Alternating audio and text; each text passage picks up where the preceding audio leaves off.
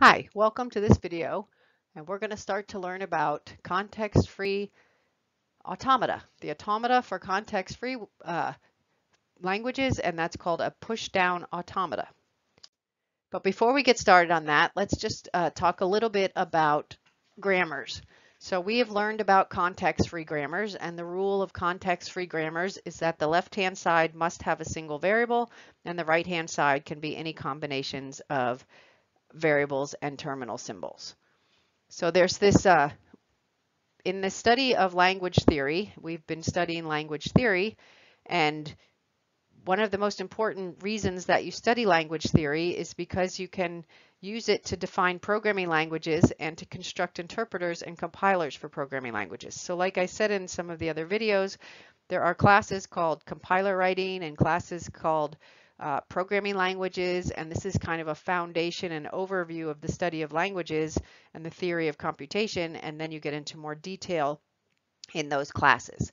But since we've been doing grammars and we've learned now about context-free grammars, I kind of I wanted to show you this Backus-Naur form grammar.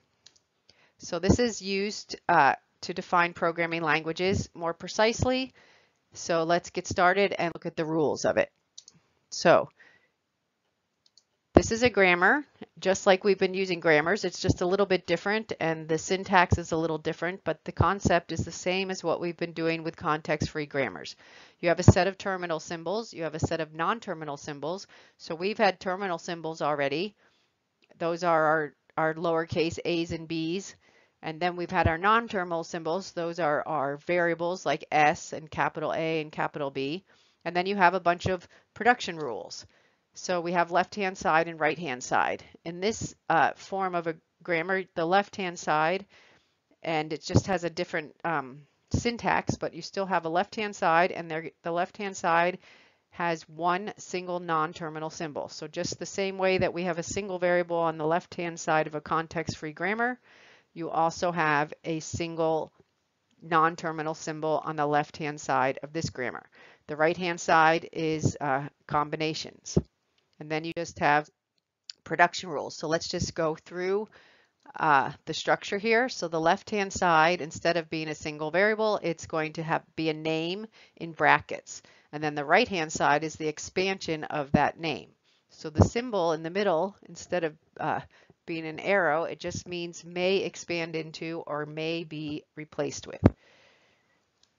So every name is surrounded by brackets. Whether the name is on the left-hand side or the right-hand side, it has brackets. And then we expand that and the expansion can include names and it can also include um, non-terminal uh, symbols. So non-terminal symbols are names and terminal symbols are literals. So I just explained all this and um, but I think looking at an example will make it much more clear. So here is an example of a grammar for a very su small subset of a program programming language. This grammar is uh, the name here is addition. So we're going to take addition and you can break addition down into numbers and you can take numbers and break that into or expand that into signed and unsigned integers. And then you can take an integer and expand that into digits or combinations of digits and integers. And then digits, of course, are literals. That's why they are highlighted here. And signs are plus and negative.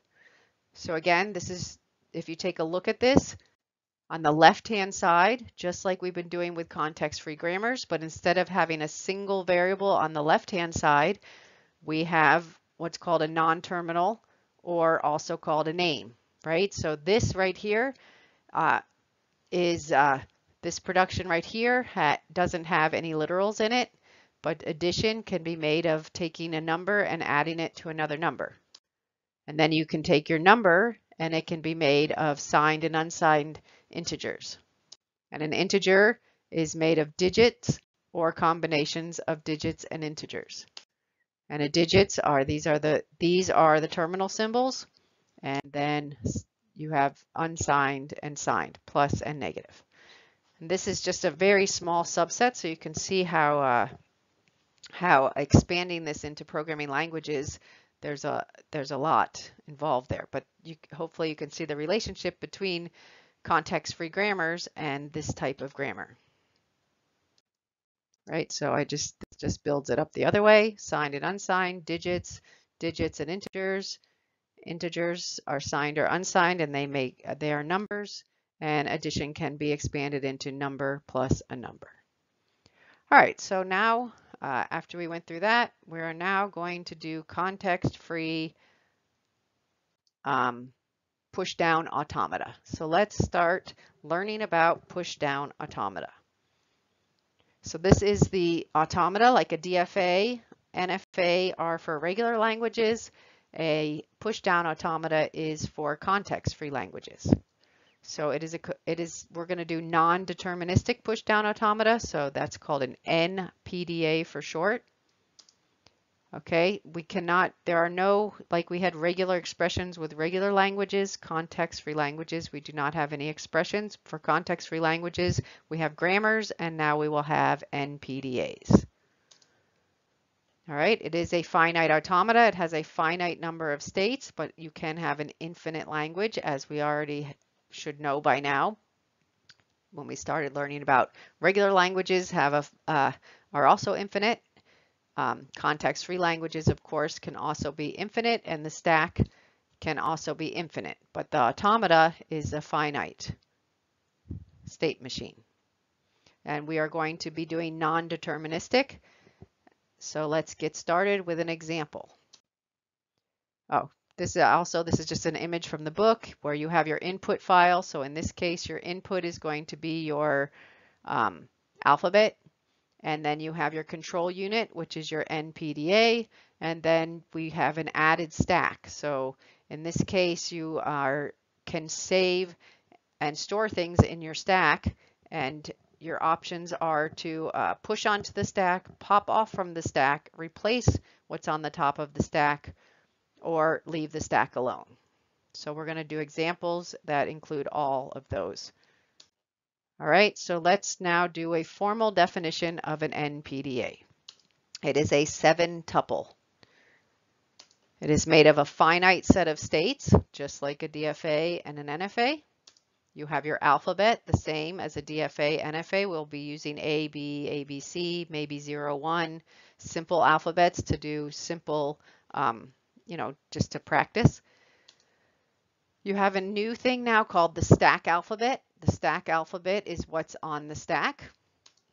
So you have um, a fine, so your transition function, the transition function, this is non-deterministic, so it's allowed to have lambda transitions, but in making a transition, you have to look at the top of the stack, and then you are, you may uh, modify the stack. So the modifications you can do to the stack, you can push something onto the stack, you can pop, you can ignore, or you can replace what's at the top of the stack.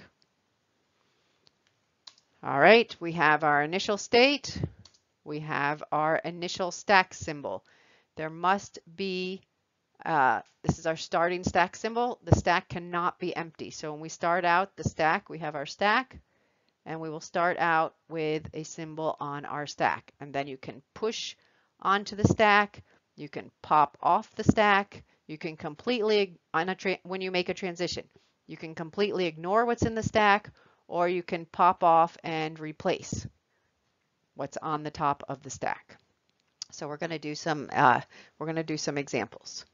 You have your final states, your accepting state, and I just said you cannot move if there's an empty stack. So you, if you pop off the stack, you're stuck. You don't move. You, you can only move if there is uh, something on the stack. It cannot be empty.